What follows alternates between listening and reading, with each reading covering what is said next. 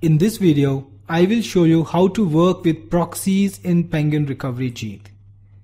Penguin Recovery Jeet needs a lot of data to correctly analyze a website or a link and find out if it is toxic. It gets all of this data online from a variety of different sources. For every website, Penguin Recovery Jeet does numerous web calls. Many of these calls also go to google.com and other websites which are the storehouse of information. Sometimes the website in question may not like getting too many requests from one IP and may rate limit or stop access if you repeatedly make requests. In such cases, you will need to use proxies. For most normal users, this won't be necessary because only large and very popular websites will have that many backlinks to create an impact of this kind. If you intend to use Penguin Recovery Jeet on your personal website, you don't need a proxy. But if you're a professional SEO provider and need to analyze a number of websites daily, then you need proxies to send all those requests online to Google. You can use proxies free, you can get them free online, or you can buy private or shared proxies if you want more reliable proxies. Usually the prices are quite competitive and affordable, and you will be able to easily pay for them if you're providing this as a service.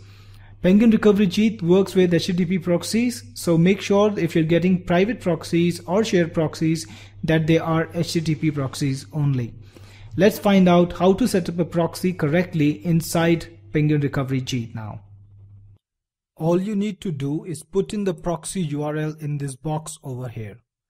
You can put in the URL with just the proxy IP address or if you want you can add a prefix HTTP to it. It works both ways. For my test, I'm not adding the prefix, but it doesn't really matter. Next, you need to check if these proxies are working or not. If you've got private or shared proxies that you've purchased and paid for, there's a very little chance that those won't be working. But if you're trying to make do with free proxies, you will need to make sure because they often don't work. Just click on the test proxies button over here and Penguin Recovery Jeet will test each proxy making sure that it works.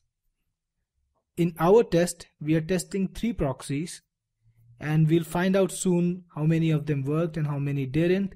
So as you can see, two of the proxies worked and the third one didn't.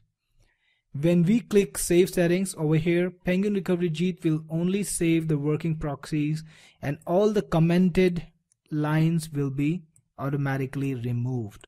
So let's save settings, close and come back. We only see the work the proxies that are working. So if you put in a proxy that doesn't work and save it without testing, that will be a problem because Penguin Recovery Jeet will not be able to get the data that it needs as it will be accepting the bad proxy and trying to communicate with the web, with the website with Google or any other website through the bad proxy and it won't be getting the data. The results that will be shown will not be correct. So make sure you put in valid proxies and test them. It's very important and I want to emphasize it. Sometimes proxies come with a specific port number. In that case you can add the port number like this put a colon at the end of the proxy address and put in the port number. That's the standard URI format Sometimes they may also have a username and a password along with the proxies. Put the password and the username in a par in parenthesis like this. You can put in the password if it doesn't come along with the username, but if it comes with the username too, then put in the username and separate them with a colon.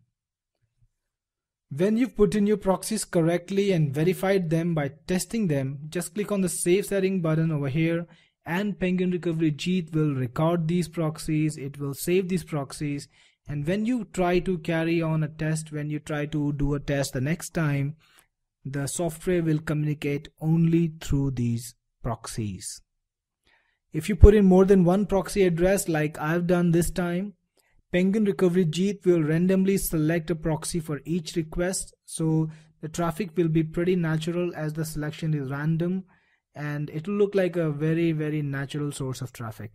So if you're going to analyze a lot of websites, if you're going to provide SEO services, or if you've got a huge website that has thousands and tens of thousands of backlinks, or if you're going to analyze 30 40 websites in a day then you can put in proxies and that will solve the problem of traffic sending traffic to too uh, many source sending too much traffic to the sources. But if you go only one website and you're not using it all day you're not using it very intensively then you don't need to worry because proxies are not required for penguin recovery Jeet to work. It can work pretty well without proxies too so try it without the proxies first and if you feel that Google is barring your traffic if you see a message like that then you know that you need to purchase proxies and or you need to get free proxies. If you're going to be a professional i recommend that you purchase them. They're pretty cheap and they will solve a lot of headache.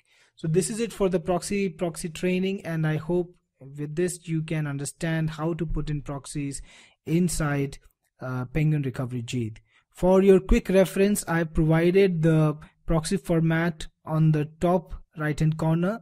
You can see that it is address colon port in parenthesis user id colon password. That is the format that you can use to put in your proxies proxies. And I've also got a few examples over here which you can see and understand from